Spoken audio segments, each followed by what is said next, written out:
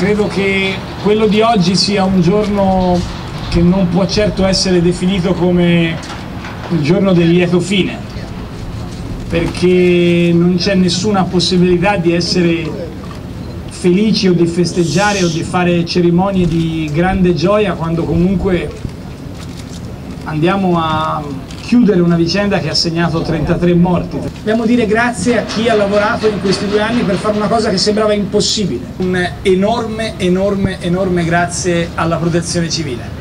A Franco Gabrielli che ha fatto il regista di un'operazione molto complicata, che ha sopportato anche qualche cattiveria di troppo e nel ringraziare lui io vorrei ringraziare tutti i servitori dello Stato. Genova era l'unica scelta possibile perché la rottamazione e la la distruzione di questa nave fosse in Italia, no, oggi. Piombino non poteva accogliere questa nave, ma noi a Piombino investiremo non soltanto attraverso l'attrazione di investimenti internazionali per il sito industriale, ma anche sulla, qui in questo caso la Pinotti svolge la funzione di ministro più che di Ligure, attraverso lo smantellamento di alcune navi militari. Di anni che svogliono,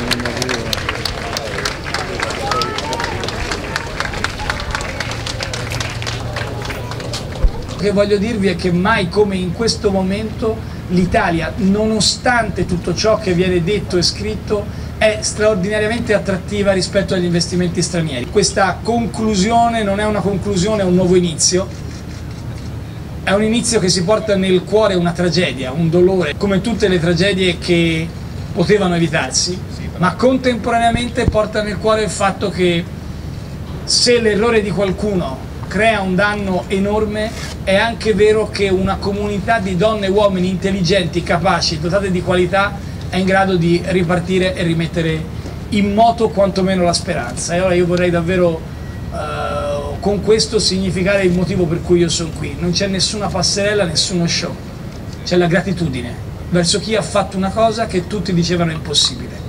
E siccome si è fatta una cosa che tutti dicevano impossibile, quando si fa è giusto che a nome degli italiani il Presidente del Consiglio venga a dire semplicemente grazie.